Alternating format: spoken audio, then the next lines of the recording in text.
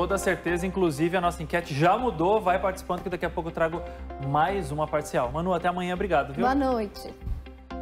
O governo federal publicou hoje uma portaria com novas regras para a chamada prova de vida. Com as mudanças, não será mais necessário ir presencialmente a uma agência bancária ou então INSS. A Camila Andrade chega agora de Brasília para conversar com a gente com mais detalhes. E para você explicar, Camila, como é que vai funcionar esse novo esquema? Boa noite.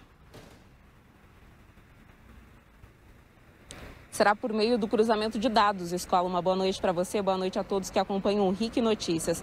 A prova de vida ela é importante para evitar fraudes. Então, aquelas pessoas que recebem, por exemplo, aposentadoria ou pensão, são obrigadas a fazê-las anualmente e quando não fazem, corre um risco aí de ter o benefício suspenso. De acordo com o Instituto Nacional do Seguro Social, o INSS, atualmente, em média, 36 milhões de brasileiros precisam ir anualmente fazer essa comprovação. O problema, escola, é que dentre essas pessoas estão mais de 5 milhões de idosos acima dos 80 anos de idade. Então essa mudança ela é importante porque agora abrange uma série de outros meios para comprovação da vida por essas pessoas. A gente separou uma tela com cada um deles para vocês verem direitinho em casa. Servirá então como prova de vida o acesso ao aplicativo Meu INSS, a realização de empréstimo consignado, perícias e consultas médicas, vacinação, a atualização do CAD único, votação em eleições, a emissão e a renovação de documentos, o recebimento de pagamento com a biometria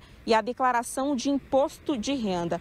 E se o beneficiário não for identificado em nenhuma dessas bases ao longo do ano, é o próprio Instituto Nacional do Seguro Social que fica obrigado a ir atrás dele, inclusive na própria residência. Essas novas regras já passaram a valer hoje, viu, escola? E o INSS tem até o dia 31 de dezembro para fazer toda a implementação. Então, até lá, qualquer pessoa que receba um desses benefícios e que não consiga fazer essa prova de vida não poderá ter o benefício suspenso. Eu volto com você. Camila, eu reparei aí, só para você contar para a gente rapidinho, que o Congresso está com uma iluminação diferente. Tem algum motivo especial? Tem sim, escola. É por conta do Dia Mundial de Combate ao Câncer. Senado e Câmara, então, com a iluminação roxa e azul, e essa iluminação deve permanecer aqui como uma forma de conscientizar a população até a segunda-feira. Tá aí, obrigado Camila Andrade pela sua participação de Brasília. Até amanhã. E agora a gente vai para o oeste do estado. Vamos ver como é que está o anoitecer em Cascavel, chovendo em Cascavel neste momento no oeste do estado. Ó, a instabilidade que a Manu disse que estava chegando ao estado já está por lá. Oeste chovendo, Avenida Brasil de Cascavel.